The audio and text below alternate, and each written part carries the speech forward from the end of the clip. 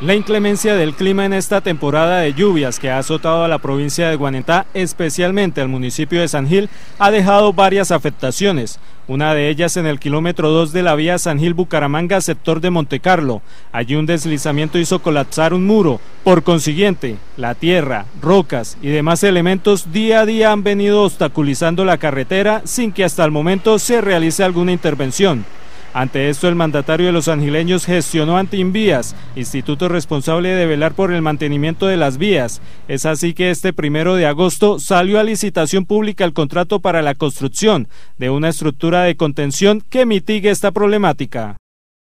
Una muy buena noticia para San Gil y por supuesto para eh, la capital turística y la región es la licitación que hoy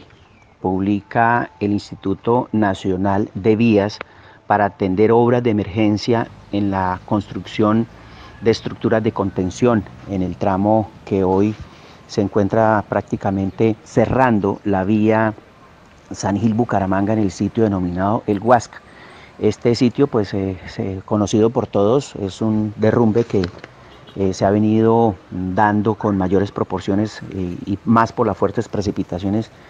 que se presentan en esta ola invernal fuerte, fuerte para el municipio. En total son 5.600 millones de pesos para mitigar este riesgo y se logró gracias a la gestión realizada ante diferentes autoridades del departamento y la nación. Pero hoy quiero agradecer al señor gobernador de Santander, al doctor Didier Tavera,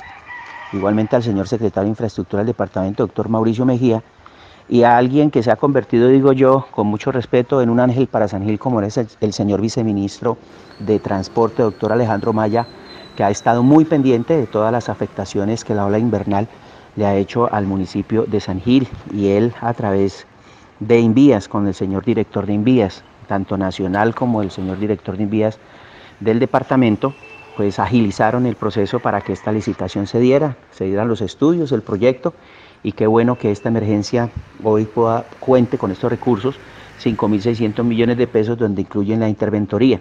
Este derrumbe fue catalogado como de gran riesgo, por lo cual era urgente la intervención debido a la afectación que estaba generando para las familias que allí residen como para la movilidad sobre esta vía nacional. Se espera que en próximos días se den inicio con las obras de mitigación, dentro de ellas la construcción de un muro de contención.